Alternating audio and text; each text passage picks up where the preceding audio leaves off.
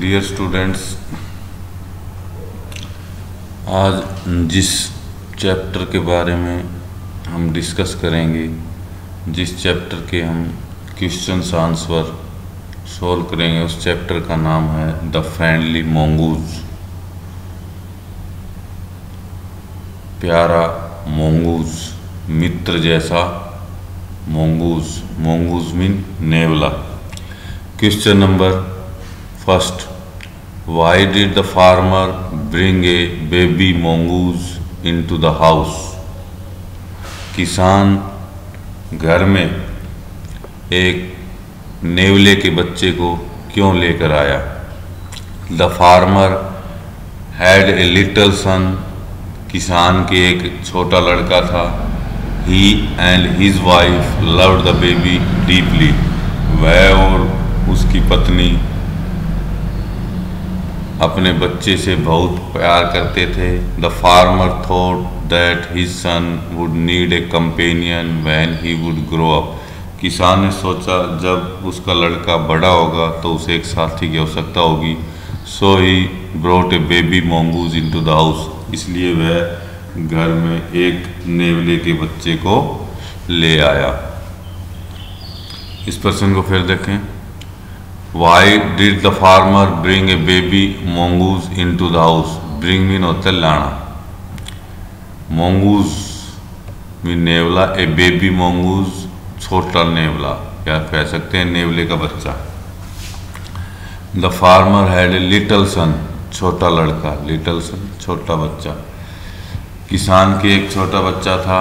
He and his wife loved the baby deeply वह और उसकी पत्नी उस बच्चे से बहुत प्यार करते थे। The farmer thought that his son would need a companion need mean आवश्यकता होना, ज़रूरत होना कंपेनियन मीन साथी। The farmer thought that his son would need a companion किसान ने सोचा कि उसके लड़के को एक साथी की आवश्यकता होगी। When he would grow up जब वह बड़ा हो जाएगा। ग्रो अप मीन बड़ा हो जाना। So he brought a baby mongoose into the house इसलिए वह घर में एक नेवले के बच्चे को लेकर आया। Question number next why didn't the farmer's wife want to leave the baby alone with the mongoose किसान की पत्नी बच्चे को नेवले के पास अकेला क्यों नहीं छोड़ना चाहती थी? वांट टू लीव छोड़ना। Want to leave want mean चाहना टू लीव छोड़ना। The baby alone alone mean अकेला।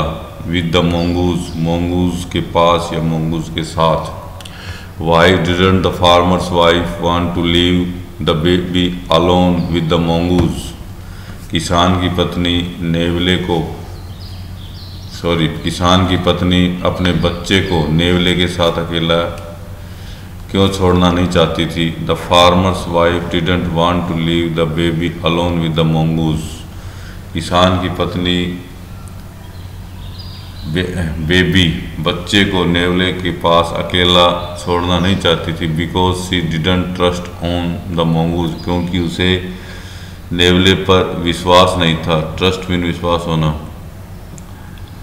She feared that mongoose could harm the baby उसे डर था, भय था कि नेवला उसके बच्चे को नुकसान पहुँचा सकता है। Question third what was the farmer's comment on his wife's fears अपनी पत्नी के भय पर किसान ने क्या कहा? कमेंट में टिप्पणी।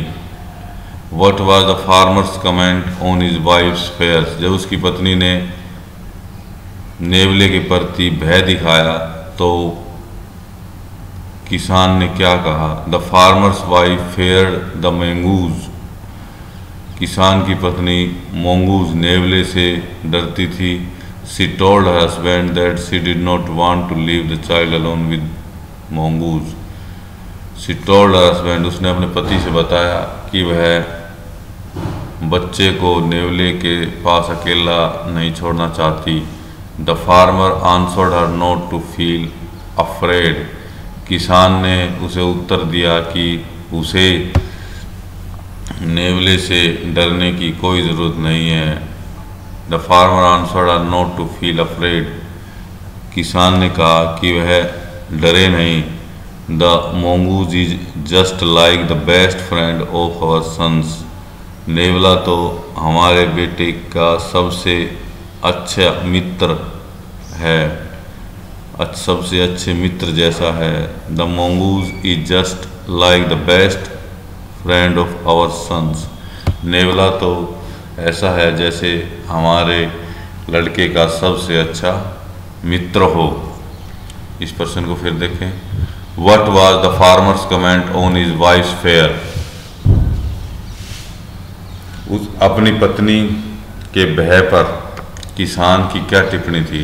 The farmer's wife fear the mongoose किसान की पत्नी नेवले से डरती थी। सी टोल्ड हर हस्बैंड उसने अपने पति को बताया that she did not want to leave the child alone with mongoose की वह अपने बच्चे को नेवले के पास अकेला नहीं छोड़ना चाहती।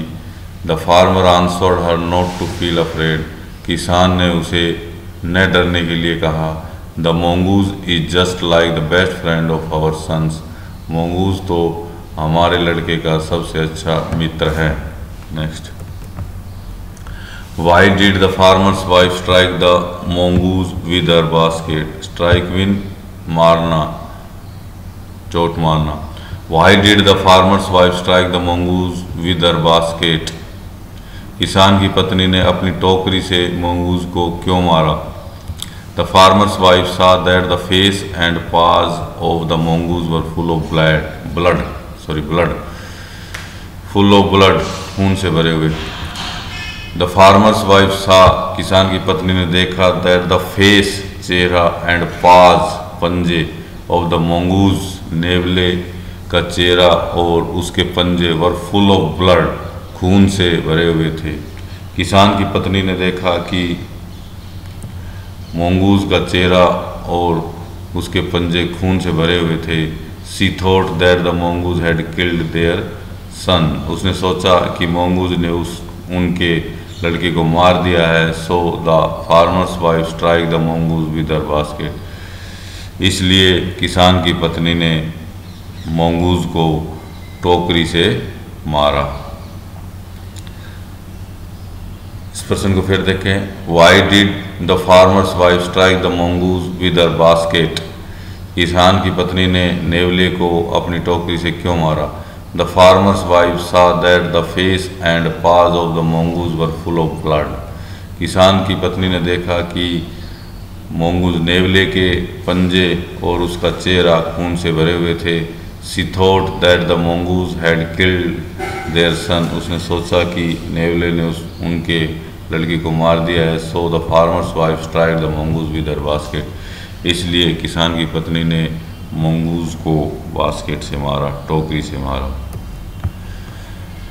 Did she repent her hasty action repent mean पछताना हेस्टी मीन जल्दबाजी में जल्दी से किया हुआ। हेस्टी एक्शन जल्दी से किए हुआ कार्य। क्या वह अपने जल्दी से किए हुए कार्य पर पछताई? क्या किसान की पत्नी अपने हेस्टी एक्शन जल्दी से किए हुए कार्य पर पछताई? How did she show her repentance repentance mean पछतावा। उसने अपना पछतावा कैसे दिखाया? Yes the farmer's wife repented her hasty action हाँ किसान की पत्नी को अपने एस टी एक्शन जल्दबाजी में किए हुए कार्य पर पछतावा हुआ। Seeing her baby safe sleeping in the cradle safe mean सुरक्षित। अपने बच्चे को पालने में सुरक्षित सो हुआ देखकर she touch the died mongoose, उसने मरे हुए मोंगूज को छुआ, पकड़ा एंड स्टार्टेड विपिंग और रोने लगी। Did she repent her hasty action how did she show her repentance yes the farmer's wife repented her hasty hasty action seeing her baby safe sleeping in the cradle she touched the died mongoose यहाँ spelling mistake है. M O N G double O S करना बच्चों G double O S G double O S G double O S. G double O S G double O yeah.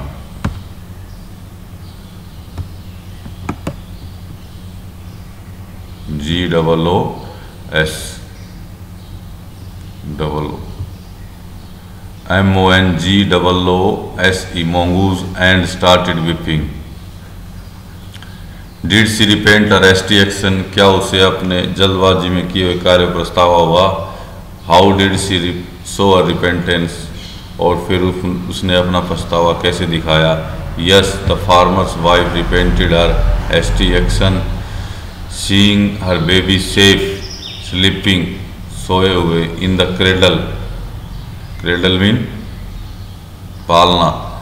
Touch the died mongoose M O N G double O double O S E mongoose and started weeping